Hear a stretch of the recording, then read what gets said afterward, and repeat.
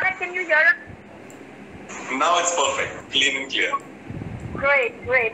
Thank you, Ronak, for joining. I was just telling everybody that uh, you are uh, a life coach, meditation mentor, yoga, you do everything. So I know he, he's like the master of call, and uh, he's just the right person who should be talking about mindful wellness today. So please, Ronak, I'll uh, let you start with this, and uh, we continue.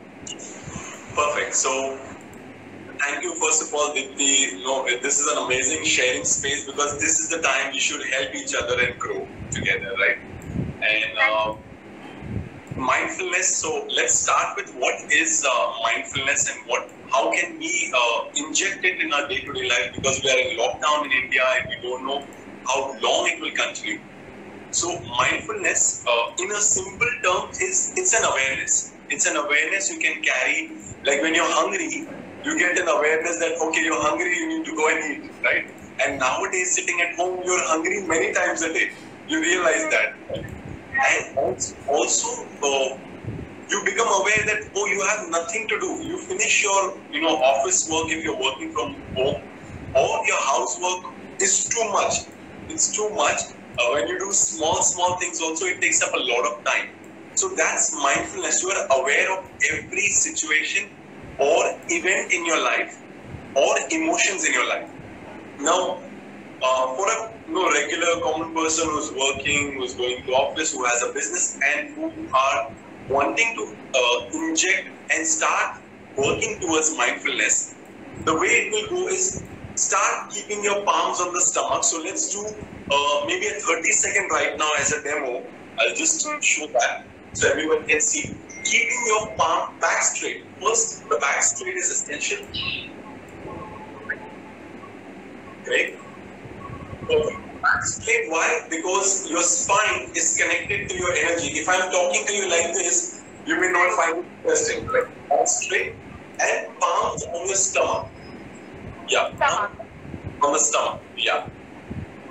And now, for only 30 seconds, closing your eyes and breathing in through your stomach.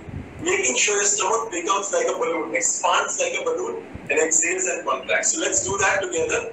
Closing the eyes, breathing in, and softly exhale. Very good. Breathe in. Observe the expansion of the stomach and exhale.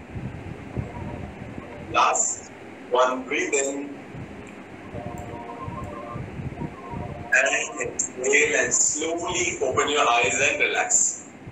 So one of the simplest uh, all these exercises with us, so you kind of feel it, and that's how this section will benefit you. So please join us and uh, do these exercises wherever you're sitting right now.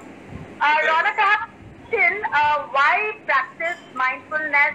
Uh, what I want to know is, does it uh, help mental health? Uh, especially in this current situation, we are where we are so anxious. We don't know what will happen tomorrow. We are in a state of uncertainty. Uh, so how do people right now use this um, as a tool and work around? Well, that's a very good question, first of all, Deepti, and it's very, very essential for everyone on the planet to know that in last, I don't know in history when when I researched on this topic, in last 2000 years at least or 1000 years, there is no complete shutdown happened of the world at one go. Right? It is new for America, it is new for China, it is new for Europe, it's new for India. And in India, if we don't talk about history, we talk about anyone's age. Like example, a 60 year old or a 70 year old person right now living, or a 40 year old or 30 year old working person, in their lifetimes also, they may have never seen such a kind of shutdown in India. Number 21. 21 days lockdown means this has happened. Upgrade and become aware of your dark side also. Uncertainty is one, one spot. But we are so afraid of facing our dark side, we tend to run. We tend to run away to Netflix, we tend to run away to you know, something that's not relevant for us. I'm not saying don't do Netflix. Do Netflix, do Prime, everything you watch in balance. Hmm. Sure, sure. Of balancing is the key. But when you said this 21, we are going to discover. Is there a logic behind this 21 days lockdown? Yes, yes, Yes. that's where that's where I was coming out and I saw that you know energy in your eyes. It is 21 days is essential for any habit to form, and we humans form habits and you know absorb habits in 21 days. Sure. So 21 days, maybe government has given, maybe anything you can say, it is given to us by universe. Ultimately, there is a higher power or any divine or anything you call in. That energy has given you 21 days to form positive habits. You can start from dancing in morning, breathing, exercising, reading a book for 21 days, and you will see such a positive change in your life. But what happens? We tend to fall in the dark side. We tend to Yeah. get into uncertainty, and uncertainty is very natural. Everyone is in state of shock. Instead of getting negative, let's look at the perspective and change the perspective to positive. Be happier. Do things what you like. Yes. So you're saying 21 days is what it takes to form any new habit. So if you want to practice something, 21 days is what it needs to set up that habit. Perfect. That's true. Yes. Okay, okay, sure. Uh, so Ronak, how does, I mean, I'm sure there are a lot of people who are watching, they might have kids. I want to know, how do you keep kids positive in this situation? Like, we are struggling, you know, as adults, what, what are they going through? So uh, again, coming to the second, uh, you know, the other side. Now, this is the best time in India to shift the consciousness of things like conscious parenting is the word is what I use. Where Yeah. parents can sit. Parents used to normally give an excuse. I'm in office. I work double to provide for my kids. Now, 21 days, you're working from home. You get at least one hour officially to meditate, pray, teach all the cultural good positive habits in the kids. And zero to eight years, let's say the kid is in the stomach, like a pregnant female to a seven year old or an eight year old kid can develop a habit with their parents and in a very beautiful way they can be molded right now. And even if they are up to seven years, this is the time you can meditate with them, you can read them out the positive, you know, Vedanta stories, all the mythological stories. You can watch positive uh, stuff. You can do some DIY, crafting, arts, dancing, anything, singing. Because again, public speaking. Can you perform for me? Like you can ask the child to perform for you. That. Yes. So, uh, so tell me if it was not for coronavirus and not this particular situation, uh, would you still tell people to be mindful, uh, be aware, uh, practice mindful wellness?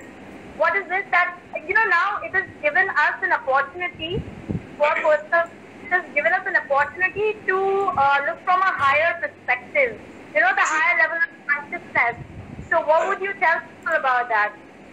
So whether corona happens or doesn't happen, if you're mindful, you're prepared for this kind of lockdown. Sure. And lockdown is not, uh, it's, it's just a mental game because ultimately it's not that you, uh, you know, there are days everyone goes on this planet, everyone, if you are human, you go through these days where you don't want to move out of your house Sure. and you're completely comfortable with it. Now, when something is forced on us for the well-being of the whole society, it feels a little bogged down that how can you know they control us or they tell this to us. But mindfulness, when you are meditating, you raise your positive thermostat. There is a negative and a positive thermostat. Now, when you raise your positive bar, you will never you know be you know mentally feeling low energetically low. In fact you will look forward to doing new things. Example i'll give you my live example. I used to work before the lockdown 4 to 5 hours every day. Now i work for 4 to 12 hours. So it is Wow. you look at the positive side and things will start moving forward for you. Sure, sure. Uh, guys, if you have any questions for Ronak, please write it down so we can see the comments and we can reply to you. Um, anything that you would like to know on this topic, we will be obviously Ronak will be taking us through a meditation basic session where he'll be teaching us some breathing exercise. Um, and you know how you should be practicing it at home while you are locked down or whether you're locked down or no, how you can practice simple meditation for 20 minutes every day at home. Um, yeah, we, oh, okay, thank you guys. But if you have any specific questions, please shoot it. Uh, would you uh, like to talk about anything more that how uh, one can well, how does it work? How does it work mentally? Because we don't like, okay, there's a question that's coming in. How do we concentrate in these times? Actually, this is a good question because people are finding it very, uh, you know, they're not able to focus. And I think mindful wellness is something that can help them focus. Uh, Priya is saying can't meditate but can be doing breathing exercises. Is that good enough? Uh, Ronak, you could take these up. Sure, sure. So, Deepika, first we'll take uh, the question from Deepika. How do we concentrate in these times? Now, Hmm. there are two. There are the best way. There are two ways. First, keep your old schedule and try to fit it in the new schedule. Example: If you're working from home, think as if you're leaving from home at eight o'clock and start your official work at eight o'clock. Finish at twelve. Take a break from twelve to two, and then that's your lunch break in office ideally. Then two to four, you do your work again. Take a break. So space out your time as if you're already working from office and you've just given you've just got a leave. Uh. The option number two, in uh, inducing mindfulness, is very very essential. Try to meditate and finish your personal schedule in the morning. Mhm. Uh, Start your day with your fitness, yoga, running, jogging, spot running. You can do a spot running on your place. Use a towel, use a yoga mat, and do your yoga exercises, stretches. So you're energized, breathing, meditation. It will take one to two hours. Then plan your day as healthy cooking, everything around health. Now, this is the time everyone's aware that health is real wealth, right? Health is real wealth. So concentration on health will help you bring uh, bring the best out of you. So that's the answer for Deepika. Now for Priya, uh, can't meditate but can do breathing exercises. Uh, is that good enough?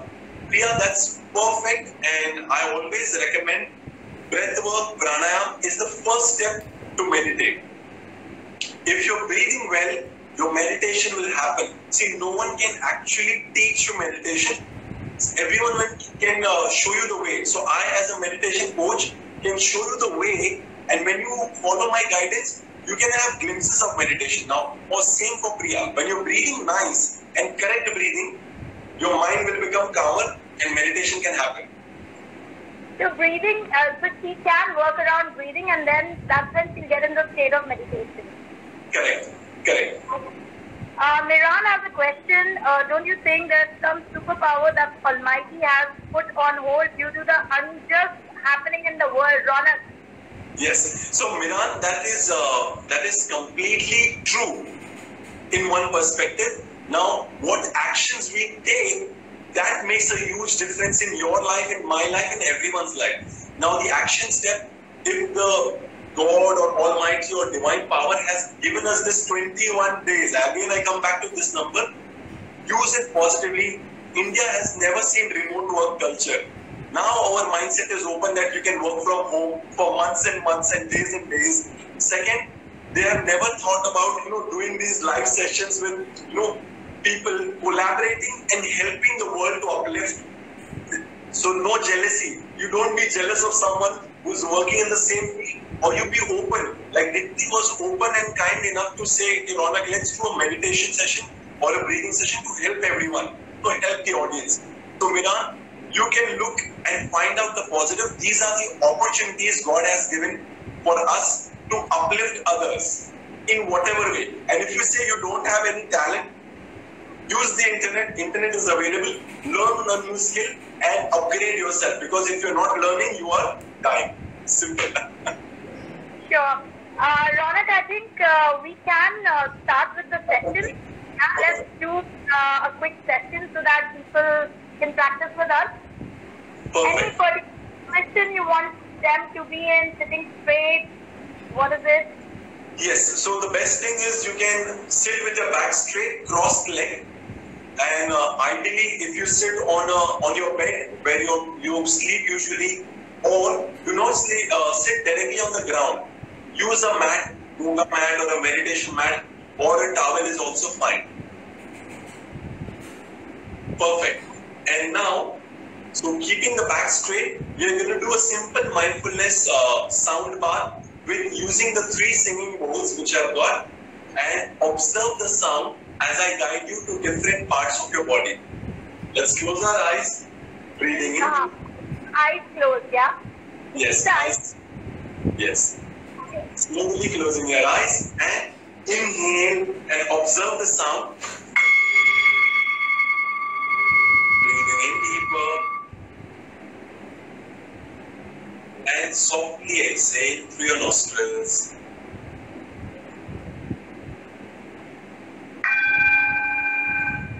Breathe in and watch this sound entering from your ears as you inhale slow and steady.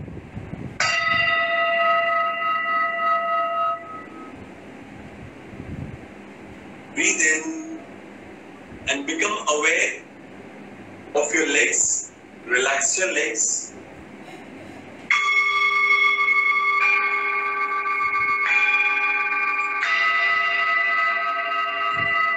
Observe your spine. Inhale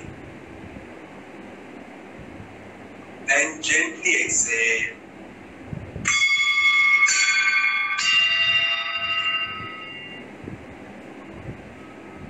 With every inhalation, watching your spine completely relaxed. Inhale and fill your spine with prana, energy. Breathe in. Now, focus on your shoulders. Relax your shoulders, your elbows, your forearms, your palms.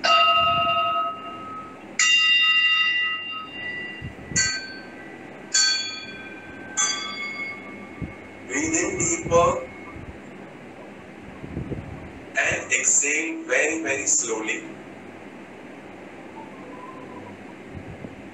Now, gently moving your awareness to your neck. Relax your neck.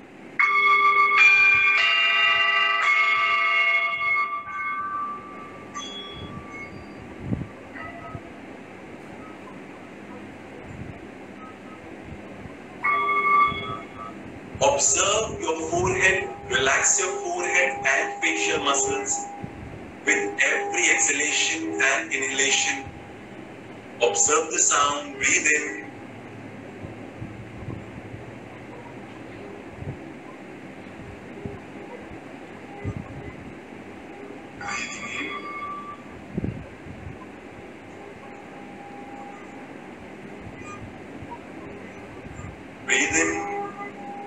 Bring your attention on the center of your forehead, right between your eyebrows.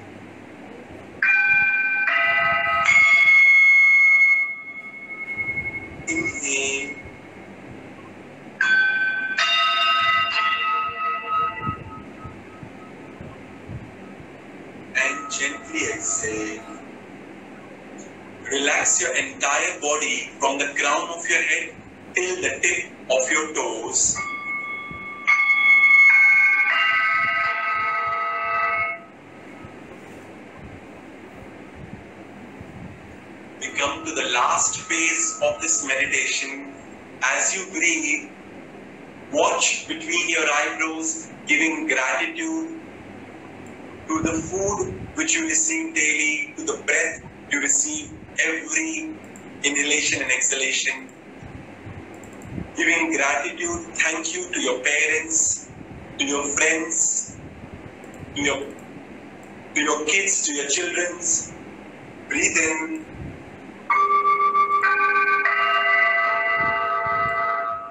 Giving gratitude to your home, to the place where, where you're sitting in. Most importantly, giving gratitude to your spirit sitting in you now. inhale, gently move your toes, your fingers, and rub your palms together. Cupping your palms on your eyes. Move them on your face and slowly open your eyes. Thank you. That was really good. Great, great, great. So hope everyone enjoyed it and you know they learned something new. Nice. Uh, thank you so much. That was really relaxing. There are a few more questions. Right, sure. How do you? Oh, sorry. Uh, there was one question. Difference between.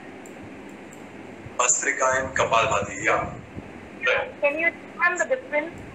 Sure. So Bhastrika is active inhalation and active exhalation. So you inhale forcefully and you exhale forcefully. I'll give you a demo only for 10 seconds or just 2 seconds. So you inhale force and exhale force. Kapalbhati is active exhalation, but no facial expression. In Bhastrika, you can have facial expression. In Kapalbhati, you have to be completely calm. And uh, is energizing pranayam, Kapalbhati energizing pranayam. The difference is active inhalation and active exhalation in Bhastrika, and Kapalbhati only exhalation. I hope I answered that. And any more? Okay, no more questions. Great. Thank you for joining. You, there's a tattoo question, yeah, for you. I'm asking where did you get your tattoo from? So I got this from uh, one of the tat- amazing tattoo artists from Pune. This is uh, a mandala. It's an uh, like a seven chakras we have. It's a mandala. Now it emits a vibration. Usually I was very shy. Like when I was a kid, I was very shy. But now I I understood the my calling. Everyone gets their calling at a certain time, right? So my calling is to help people and talk and spread good words, positivity. So that's the throat chakra. You talk good, you see good. That's where it is all about. Yeah. Uh, Ronak, just a few questions that I have. Uh, like you said, again, 21 number. Uh, can you suggest some simple tips other than meditation? Like you do everything, yeah? You do coaching, you do meditation, you do yoga. Uh, can you suggest some simple tips that people can do it at home? Uh, like you gave me some amazing tips, which been here now.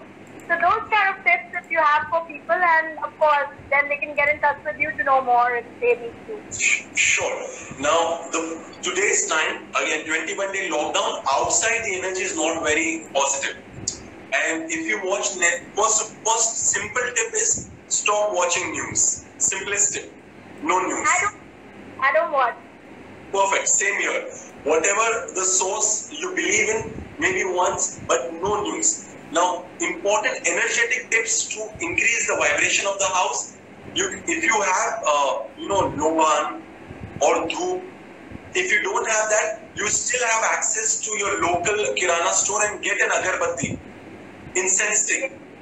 Even one incense stick, take it around the house. The smoke of that incense stick, the fragrance, it will give, it will increase the vibration of the house. So that's like a smoke uh, fragrance bar for the house, which lifts up the energy. If you can do a wow, but if not, just uh, incense stick. Second is kapoor, uh, camphor. Camphor uh, tablets you can keep at certain corners of the house, especially next to the shoe rack. That is the down energy space in the bathrooms. Again, where you leave all your dirt, wash your dirt every day, day to day. So bathrooms uh, and entrance where it's, uh, right now people are not coming in and out, but negative energy is right behind your door. It's waiting Yeah. to enter, right? Because of everyone's thinking negative. That's the only thing. It's not like someone is going to attack on something, but it's the people's mindset. So kapoor or camphor around the space would be great.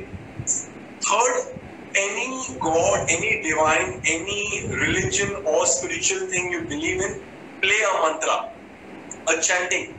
I simply say, if you want to keep it universal, Om chanting you can YouTube it 108 times, Om chanting, and play it in the morning and evening, two times of the day. That's it. That will really change the vibration of the house. Yeah. Thank, thank you so much. Uh, lastly, uh, everyone is very curious about this tomorrow's 9 p.m. Yeah, and is there a logic behind that? It's out of the context, but I still would like to know. So every thank you, thank you, Dimpi, for asking this. It's everything is in alignment. Now, one of the reason uh, I I also researched, I also spoke to some, you know, I am learning astrology and numerology from many years, uh, and it's always a learning process. You don't master it for once and for all.